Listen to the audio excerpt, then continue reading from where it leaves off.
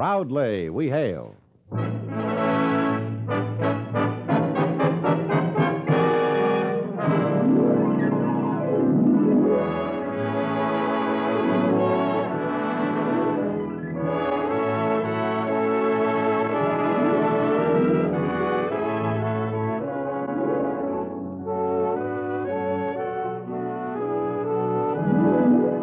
From New York City, where the American stage begins, here is another program with a cast of outstanding players. Public service time has been made available by this station to bring you this story, as proudly we hail the United States Air Force.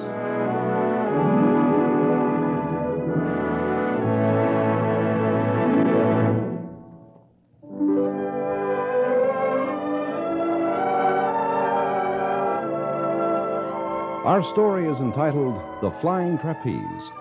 It tells about an air research and development project called FICON and about a triangle that was formed by FICON and Captain Charlie Davis, who flies a special reconnaissance plane, and Lucy, his girl, who isn't sure whether he loves her as much as he loves the Air Force. Our first act curtain will rise in just a moment, but first. Men, your Air Force offers you an open door to a specialized career, good pay, and adventure. Find out now how you can become an airman and open the door to a whole new, colorful world. As an airman, you'll be given highly skilled technical training that is second to none. You'll step out in a handsome blue Air Force uniform, and you'll be assigned to one of the many Air Force bases at home or abroad.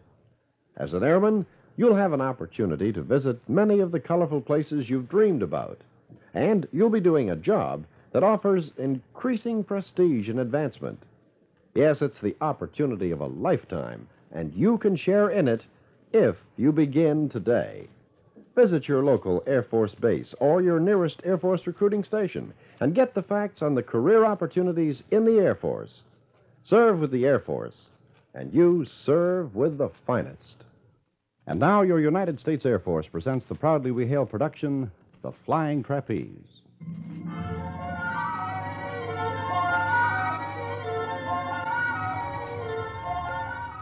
The flying trapeze we're talking about isn't the kind you see in a circus. It doesn't swing an acrobat. It launches and catches a plane in midair and is called FICON. It was developed by the Wright Air Development Center at Wright Patterson Air Force Base in Dayton, Ohio, in conjunction with engineers from Convair from Republic Aircraft. Of course, the men of the Air Research and Development Command who worked up FICON had no idea what trouble they would cause Captain Charlie Davis, United States Air Force, and his girl Lucy. No, Lucy, no. I won't be able to get home. Charlie, why not? You see, another fella and I, we fly an FB 120. What's that got to do with it? We each fly our own plane. He flies a Convair, a B 36. I fly a Thunderflash, an RF 84, and add them together. Charlie, you said you were coming home on leave. Now, 84 and 36 makes 120. F and B makes FB. You get it? FB 120. That's not official. ARDC calls it FICON. What's ARDC? What's FICON or whatever? Air Research and Development Command. Its full title. FICON stands for Fighter and Convair. The B 36 is the big Convair Intercontinental Yeah, Bomber. that's the huge thing with propellers and jet engines. But My little Thunder Flash, it hitches a ride on a reconnaissance bomber, an RB 36. When we get to a place where I can work, they drop me off, and away I go. but why can't you get home? Well, I fly away and take my pictures or whatever, and then I come back and fit a special part on the nose of my plane into a piece that's lowered in a boom from the bomber. Charlie. When it's locked in place, I'm just being pulled along by the bomber. But what? Then a trapeze is lowered from the bomber, and it grabs my plane just aft, in back of the cockpit. And that locks on, too, and they pull me, plane and all, up to the bomb bay and partly into it. Uh, all but the wings go in. Now, when I want to be ejected, uh, just the opposite. Sounds horribly complicated. Well, it isn't, now that it's all been worked out. I go off and do my job, and I come back and show my thumb to hitch a ride, and they pick me up and stow me in the bomb bay and take me home. Biggest taxi you ever saw and the fastest. Charlie, before we get married, we have to get engaged officially. Huh? When will you get your next leave? Uh, they said the end of next month. How would the 26th do? For what?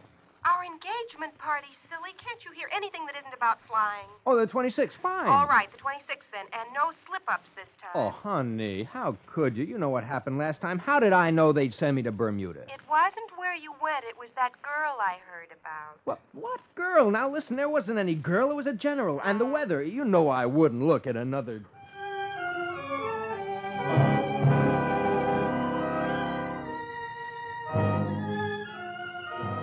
While Charlie Davis is proposing to his girl on the phone, Colonel Beatty of the Air Research and Development Command is having a talk with Major Andrew White, who's been working closely with ARDC. Major White is aircraft commander of an RB 36, a reconnaissance Convair bomber. He's listening as Colonel Beatty is talking. And it'll be called Operation Surprise, Major. That seems fitting. It's a joint effort of the Strategic Air Command, the Air Defense Command, and ARDC. Air Defense Command has some new radar installations to be tested, incorporating some features ARDC worked up, so we, uh, we want to test them, too. Naturally. How many planes will participate, Colonel? Oh, quite a few from different bases. Medium and heavy bombers from SAC, both jet and reciprocating engine craft. You and your FICON will be among the planes in the test. Will the Air Defense Command know it's an exercise or think it's the real thing? Well, they'll be tipped off, of course, but only at the last moment. They won't have time to get set for anything, you know, just as though it were the real thing. But they'll be warned, so their interceptors will be shooting you down with cameras instead of with guns, just the way the attacking force will be bombing, with cameras. Good, good. I'm curious to see how FICON works in action. When is this to be? Well, as of the moment, it's scheduled for the 26th. Fine. Who'll be flying the parasite? Why, Captain Davis. He's been flying with you right along, hasn't he? That's right. Well, what's the matter? Any complaints? No, no complaints. Charlie Davis is as good a fighter pilot as there is. As a talker, he's quick and breezy, but as a flyer, he's just as careful and conscientious as they come. He certainly is. Now, let's see. As I get it, we'll take off at about 4 a.m. from here and fly north and meet the others.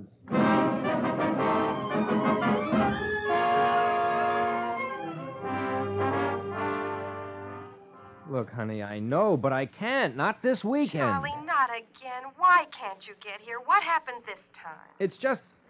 well, I can't come home this weekend. That's all there is to it. They canceled my leave. You know, if you're so important, the Air Force can't get along without you for one weekend while we announce our engagement. It's a wonder you're not a general by now. Oh, now, Lucy, don't be mad. You know I'd do anything in the world to get there, but something came up. Something always comes up. Look, honey, you know how I care. Not enough, Charlie.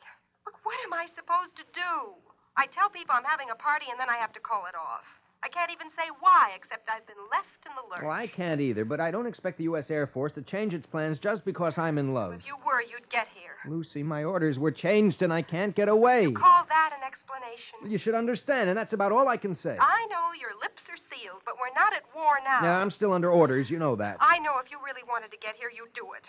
As it is, I can only figure that you don't really care. Goodbye. Lucy, you don't mean that. Lucy. Women don't want to understand. Lucy should know there are some things I can't help. Oh, uh, oh, it's you, Charlie. What's wrong? Uh, excuse me, I didn't mean to bump you, Major. What's the matter? You look upset. Couldn't be a girl, could it? Ah, the girl, Major. This exercise, this Operation Surprise, it sure surprised everybody, didn't it? oh, that's it. What's wrong? You have a heavy date? Just a party to announce our engagement, that's all. Looks as though that's off now. The party or the engagement? Yeah, I'm not quite sure. Maybe both. You know, women set a lot of store by that stuff. Don't they, though? I don't know what I can do for you. I can't change the way a woman figures, and there are too many people and planes involved to change the date of the test, even if I tried. No sense in trying the impossible, not that way. Uh, just forget you ever saw me, Major. T- uh, today, I mean. I'll try. Until later. I'll be seeing you and Sergeant West, the trapeze operator, in a couple of hours anyway, after I see Colonel Beatty to check on orders. Yes, sir. And uh, let me know right away if the whole thing's called off, won't you?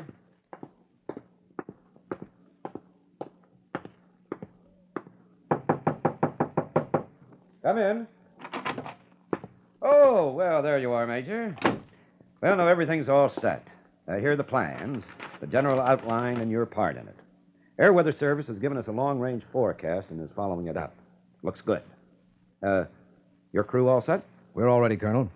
Except, I wonder if we couldn't use someone else to fly the parasite plane instead of Captain Davis. Well, what's the matter? Don't you two get on? Get on? Of course. We get along fine. Well, what is the trouble then? You mentioned Captain Davis before as though you'd rather have somebody else. Well, it's that. I don't know if Davis has his mind on this. He had other plans for the weekend. Oh, no. He's too good a man to let a change in plans hamper his work. I'm sure of that for ordinary flying. But something like this, which is really a precision job, it's like an athlete who has to be in perfect shape physically. And he has to be in the right frame of mind as No, well. no, no. Don't give Captain Davis a second thought. He'll be okay. Mm, I suppose you're right. I hope so. But I wonder.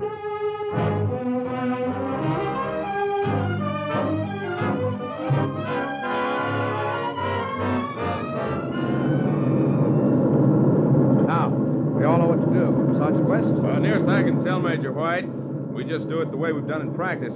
You tell me to when to let the little plane down, and I do, and that's all. When Captain Davis and his RF-84 come back and want to lift, I pick 'em up on the trapeze just as always. Right. You, Davis? Oh, nothing at all, just a breeze. You drop me and I scoot ahead and get pictures of the target and get back to you without being seen or shot down, theoretically. I'll meet you if everything goes well at almost the same spot you're going to drop me. In other words, you'll come back to point A and so will I. Right. We'll be approaching the launching point in a few minutes. Captain Davis, man your plane. Report to me when ready. Operator West, back to your trapeze. Uh, Captain Davis, I'd appreciate it if you keep me informed of each step until you're released and on your own. Roger. Roger.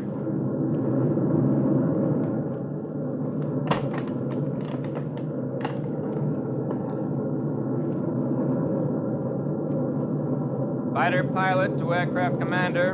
Am strapped in. Battery radio on. Roger, fighter pilot. Trapeze operator, check in. Trapeze operator here. Roger. Approaching drop point. Fighter is ready for extension any time. Whenever you want. Trapeze operator, are you ready? Trapeze ready. Starting trapeze down now. Fighter pilot to aircraft commander reporting as requested. Box released. Trapeze is being lowered. My craft half out of bomb bay. All the way out of bomb bay now. Trapeze fully extended. Starting engine.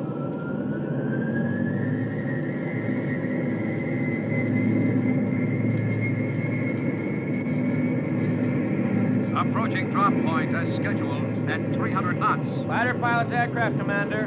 Engine running. Flap set. Inverter on normal. Trim set at zero. Ready to go to launching position. Operator to fighter pilot. Releasing aft latches and starting boom down. Roger. My craft coming out of latches. You are out of latches now. Coming down slowly. Retract flaps as desired. Roger. Flaps up. Ready to launch. Are clear to go when ready. Roger.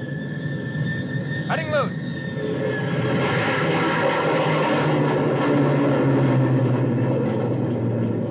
Fighter pilot to aircraft commander. Am free and clear and on my own. Roger. See you shortly.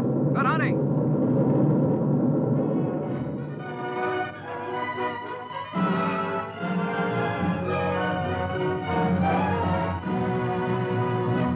Listening to the Proudly We Hail production, The Flying Trapeze. We'll return in just a moment for the second act. Are you interested in a career with a promising future? There are hundreds of jobs, ranging from administration and accounting to electronics and construction, open to you in the United States Air Force. A handy new 84 page booklet entitled Pocket Guide to Air Force Opportunities gives you the complete story. Everything pertinent to an Air Force enlistment is covered, from basic training to promotion and travel information. And there's a special section where more than 100 technical training courses are described and illustrated. For these and many other interesting facts on what the Air Force can mean to you, pick up your absolutely free copy of Pocket Guide to Air Force Opportunities from your nearest Air Force recruiting station. You're listening to Proudly We Hail, and now we present the second act of The Flying Trapeze.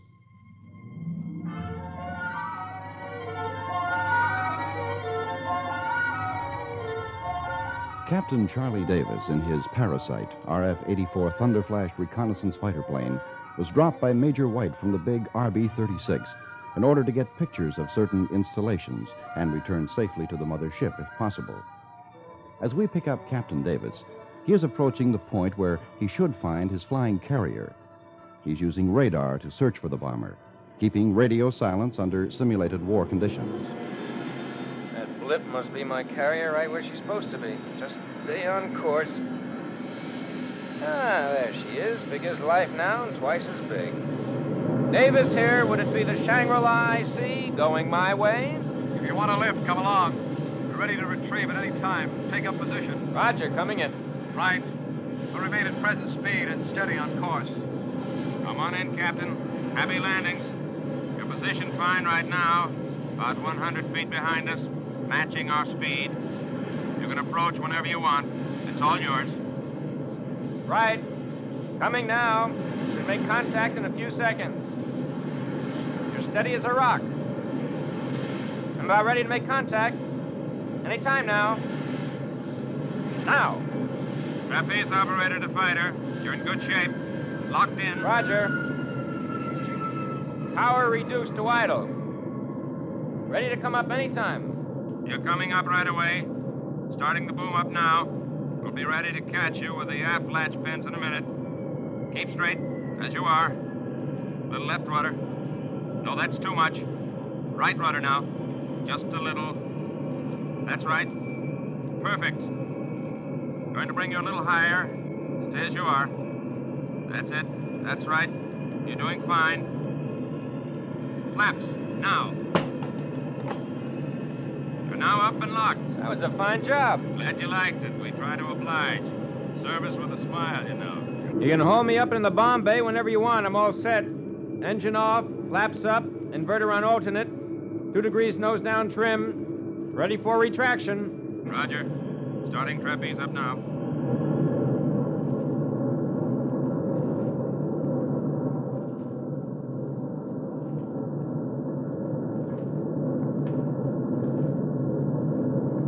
Seems to be coming fine. Canopy's inside bomber now, or most of it. I guess all of it now. Very smooth. That's as far as you go. Your plane is in stowed position. You can get out and join us whenever you want. I'm coming aft to join you. Roger. Ready to come talk to the Major. Turning off radio, switching off batteries.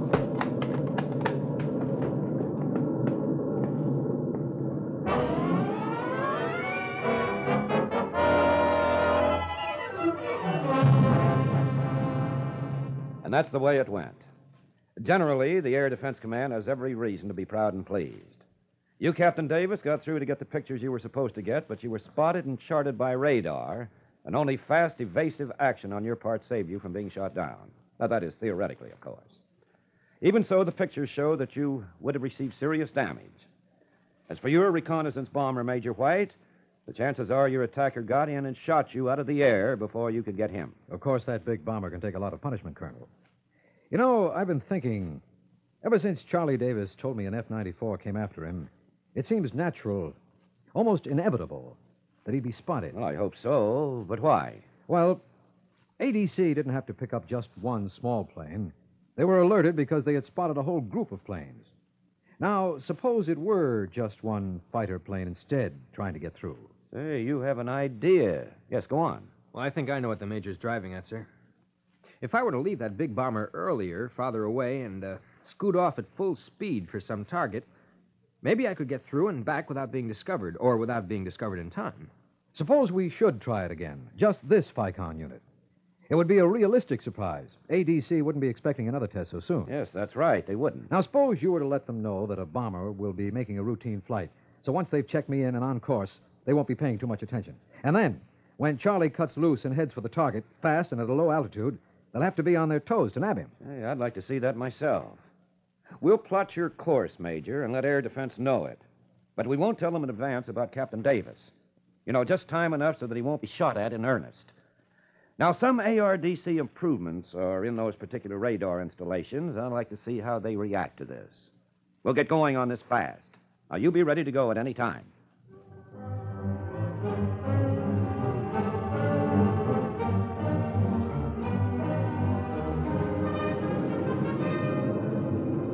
You've got it all down pat, haven't you, Captain? We're going to fly due east at 300 knots. Your heading from the drop point will be 150 degrees. Your return course after you've reached the target will be 60 degrees. Your speed should stay at 500, which means we'll meet in exactly two hours. Well, that's the way it's figured. I'm to dive and hug the ground all the way except to climb for that one range of hills right there. Right.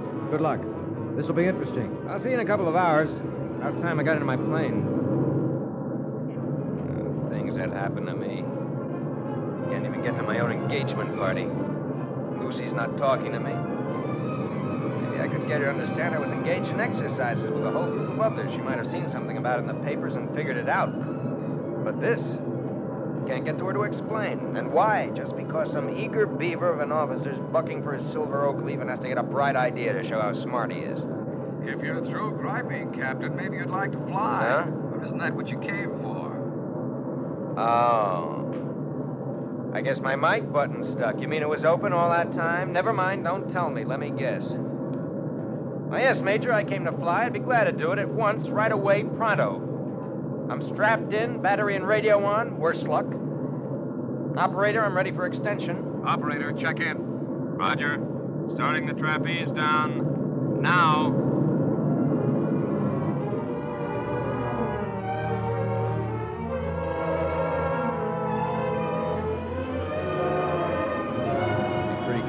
Target now. The way I figure it, flying this low, the curvature of the Earth will hide me from radar detection in this flat country until I'm within 50 or 60 miles of an installation. At this speed, that means just about five minutes. The only advance warning they could have had would be from the GOC. If I fly over uninhabited areas like this, maybe the Ground Observer Corps isn't organized well enough to spot me. Ah, there's the primary target now, quiet and peaceful, with no idea I'm coming, I hope.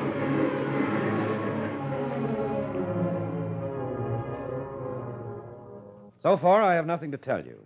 ADC is still collecting information, and they'll be in touch with me as soon as their reports are gathered together and evaluated. That should show something, Colonel.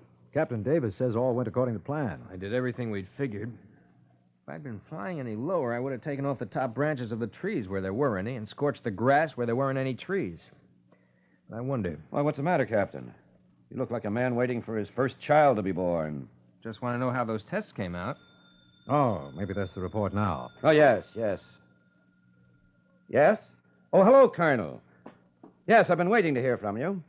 Uh huh. Now, that's good. Yes.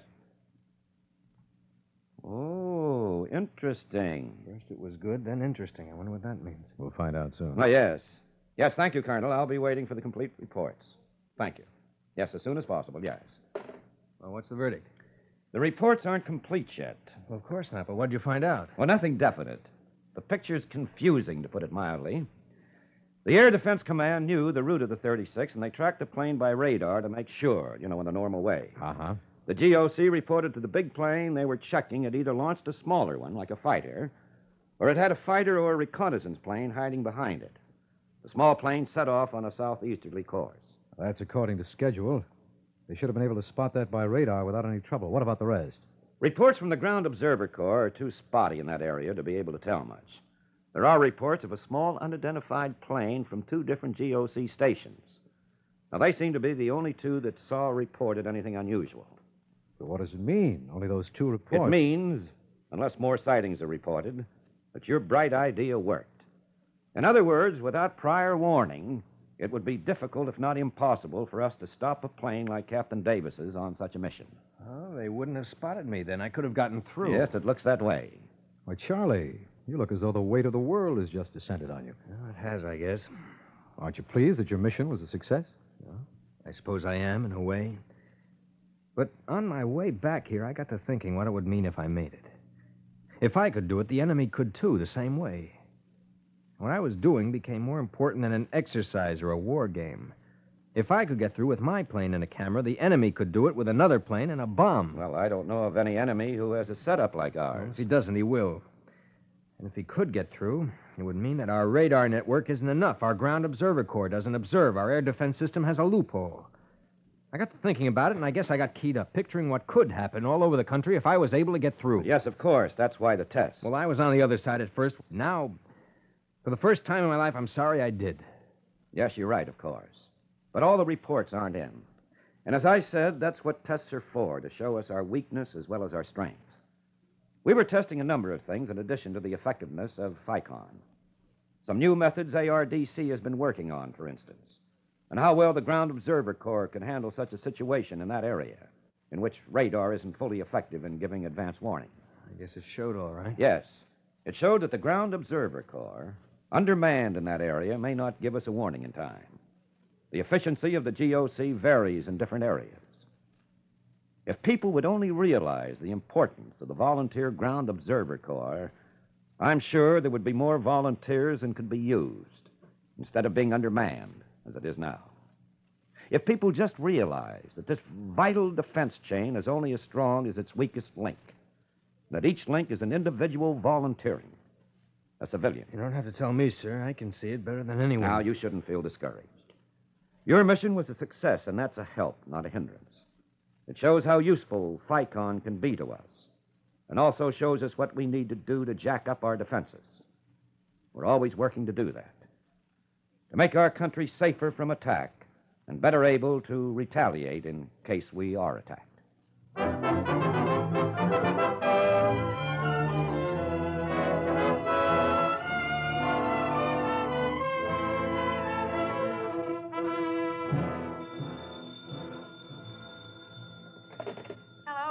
Lucy, it's your guy, uh, Charlie, you remember? What do you mean, remember? Well, I'm all set now, honey. Next weekend, is that all right? Charlie, that's wonderful. Uh, that is, if you still want me. Want you? Of course I will. Oh, you mean about that? Oh, Charlie, I'm sorry I got angry. It was just that I was so disappointed, and I guess you, I knew you couldn't help it, but I had to lash out at somebody. That's all right. Oh, no, it isn't. And when I saw the papers about Operation Surprise. Well, I thought you'd figure it out eventually. Well, I did. I was thoroughly ashamed of myself a minute after I hung up, and the papers just confirmed what I had already figured. Although I didn't know exactly what it was you were doing until then. Well, I've been doing something else since. Uh, didn't you wonder why you didn't hear from me afterwards? Well, at first I thought maybe you were mad at me, and then I decided that although your mission was over, you had to stay around to get the results or be debriefed or whatever it is. Anyway, I got over about having to postpone our engagement party, and I realized none of that was important. All I wanted was you. You can say that again, sweetie, because that's the way I feel, too. And I like to hear you say it. I'm not giving you much warning this time. I'll be there soon, but it won't be soon enough for me. Ten minutes is enough warning. Or one. I know what I want. And so do I. I. I've put in a request to the Air Research and Development Command to have my assignment made permanent. And uh, I guess I'm asking for a permanent assignment to you, too.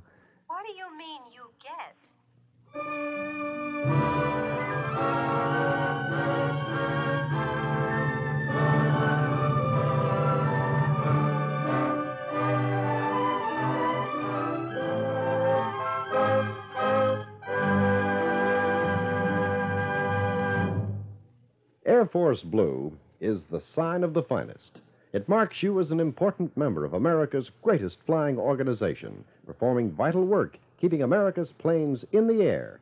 As an airman, you're a key man. Visit your nearest Air Force base or Air Force recruiting office for complete details on how you can serve your country and yourself as an airman.